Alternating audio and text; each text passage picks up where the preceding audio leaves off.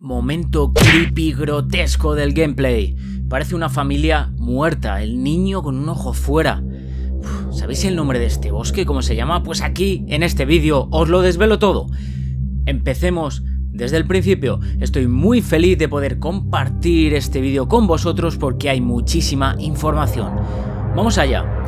Como ya os dije en otro vídeo, comenzamos con este sueño donde Mono ve una de las puertas de las fauces.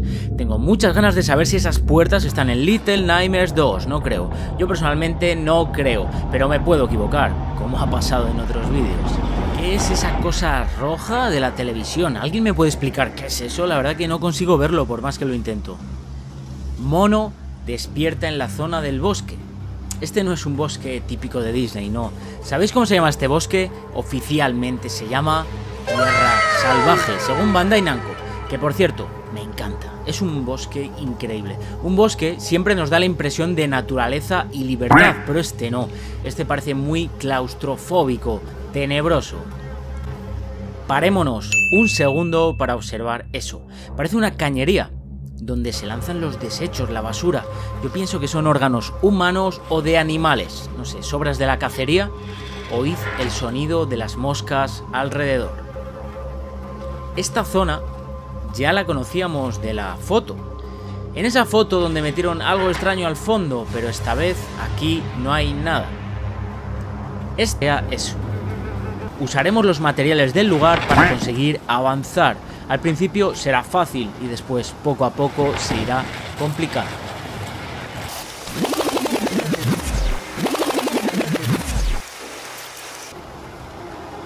Las manivelas y las cajas son un clásico en este videojuego para seguir avanzando.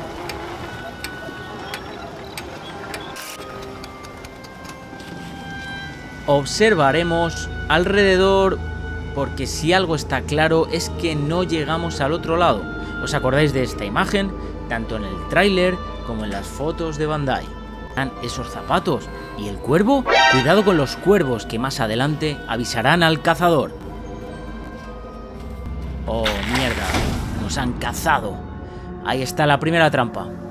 Pues habrá que usar algo para activarla. Por ejemplo, un zapato. Esas trampas son del cazador seguro. Al ver los árboles, ¿no os ocurre algo? Antes tuve una sensación rara con los árboles. Pensé que era casualidad que se parecieran al cazador, pero no, no es casualidad. Mirad esto. Da la sensación que el cazador siempre nos está observando. Mirad ese agujero que parece la máscara del cazador. Esto Bandai, bueno, en este caso Tarsier, Studios...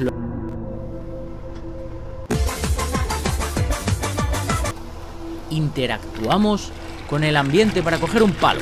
¡Un palo! Fijaos de nuevo en esta imagen. El árbol simboliza al cazador.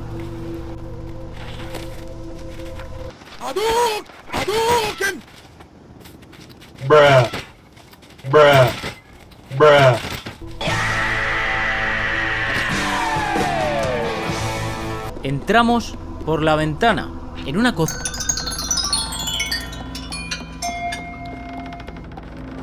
¡Ey! ¿Os suena ese cuadro? ¿De qué os suena? ¿Eh? ¿De qué os suena?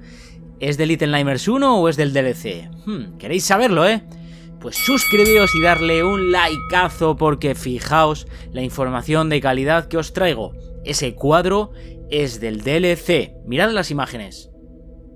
Me encantan los guiños entre el mundo de las fauces y el actual Little Nightmares 2.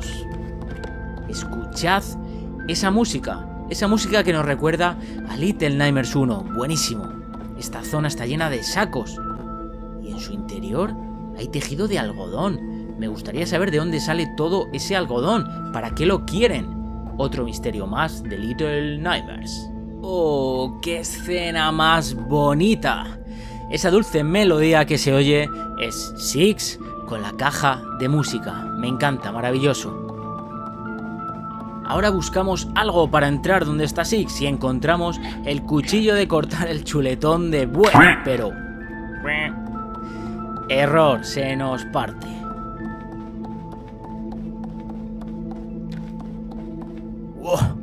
Otro hacha, otro pedazo de hacha. Esto sí, Ahora tengo el poder. Un momento. Esperad. Lo que yo, imaginad que sois Six. Entra un tío con la cara tapada con un hacha en vuestra habitación y no le conocéis de nada. Decidme qué vais a hacer vosotros.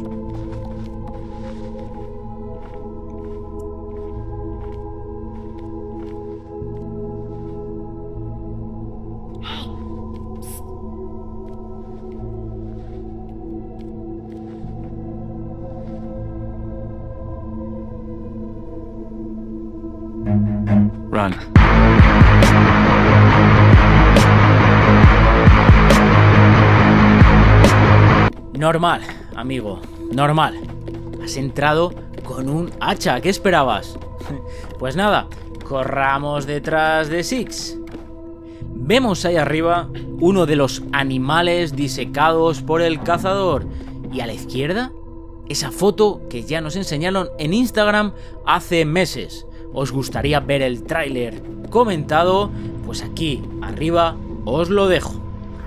Momento clave del gameplay en el que todos nos preguntamos, pero qué co pero qué mierda se han fumado estos de Little Nightmares. Pero pero esto qué es? O sea, ¿qué es esto?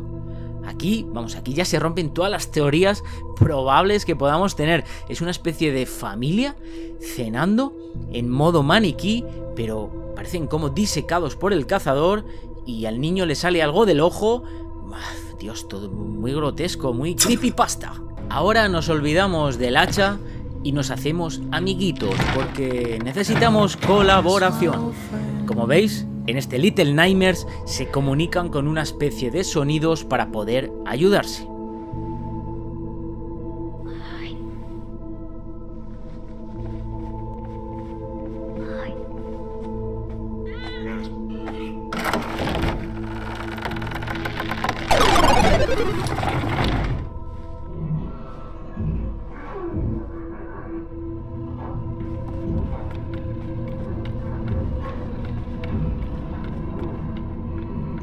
Aquí es donde vemos una mezcla de cosas muy significativas.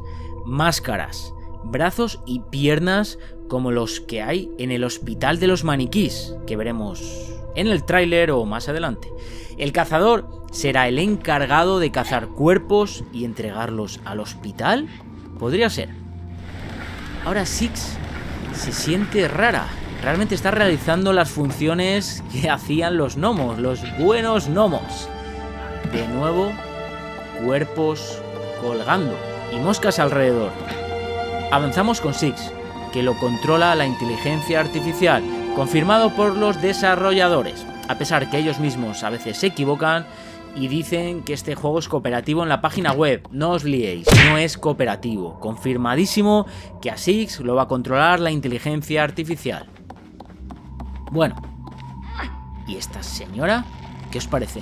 ¿Será casualidad que todos los espejos están rotos? ¿O quizás la dama estuvo por aquí? ¿Os acordáis? Antes, cuando os dije que para qué querían tantos sacos de algodón, bueno, pues misterio resuelto. Aquí están creando una especie de humanoides. Sí, esto es muy, muy raro. La mano hace fuerza. Por eso le cuesta a Mono coger la manivela, pero a la vez están en su interior llenos de algodón. Con la inestimable ayuda de Six, tendremos que subirnos al animal o cuerpo podrido lleno de moscas para coger la llave. ¿Pero ese saco nos recuerda algo que hemos visto antes?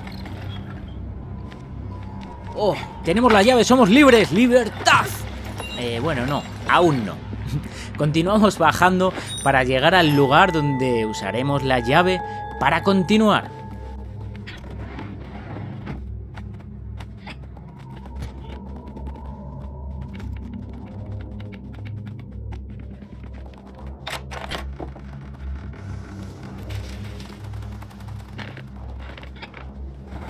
Six vuelve a hacer esta vez sus funciones de gnomo, con una caja gigante. Sinceramente pensé que no serían capaces de moverla, es inmensa. Yo creo que necesitan tres o cuatro gnomos para moverla, pero bueno.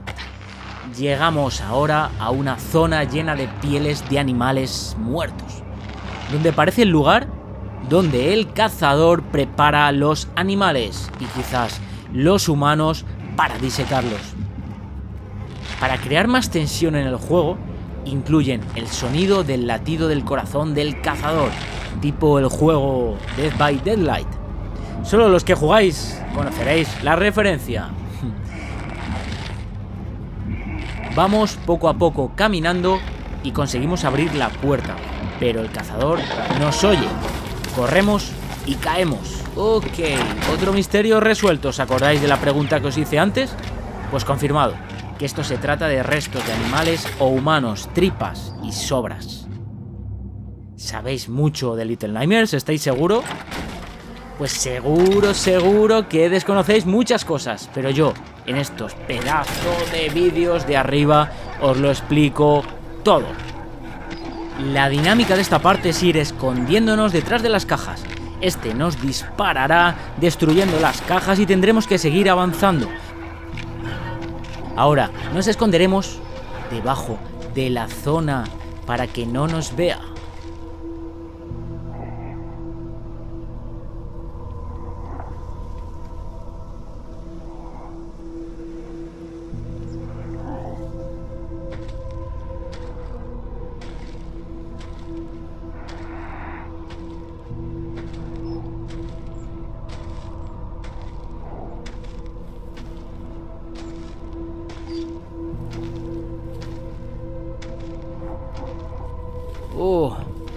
Aquí nos damos la mano para avanzar juntitos. Qué bonito.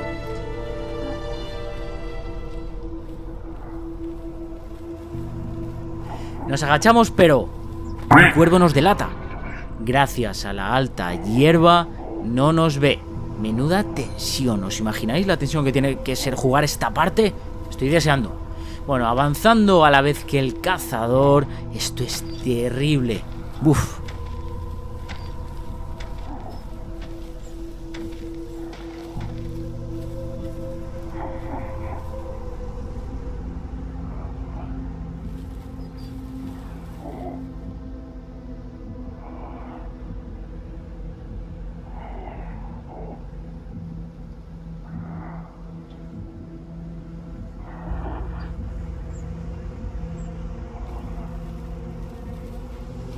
Entramos en un agujero, por fin. Y llegan los minions. Uf, ¿qué os ha parecido este pedazo de gameplay? Por favor, dejadme vuestra opinión personal sobre este gameplay. Os leo, manada, os leo. Muchas gracias a todos y nos vemos en el siguiente vídeo.